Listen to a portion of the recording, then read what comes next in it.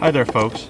Um, well, I got all my uh, seams brushed, all the uh, edges brushed, and I'm ready to roll, literally. So, um, I have my kit here, uh, the do-it-yourself repair kit. Uh, it includes the rolling apparatus, two of these 3 8 inch nap rollers, and a, uh, a short pole extension if necessary. So what I'm gonna go ahead and do put the put the roller cover on here. Pour some epoxy flex into my pan.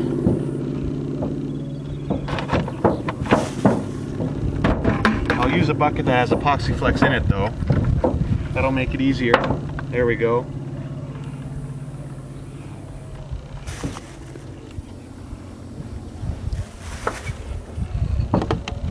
Okay.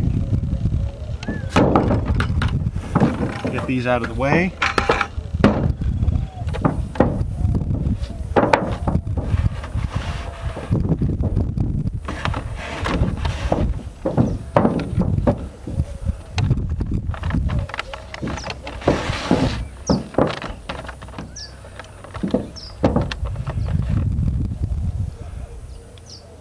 Now, go ahead and cut it.